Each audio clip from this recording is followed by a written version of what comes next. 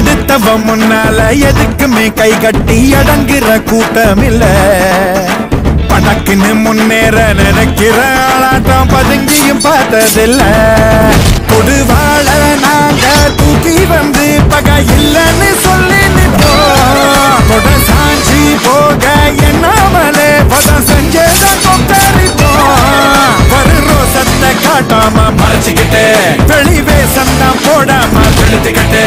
alone, yes.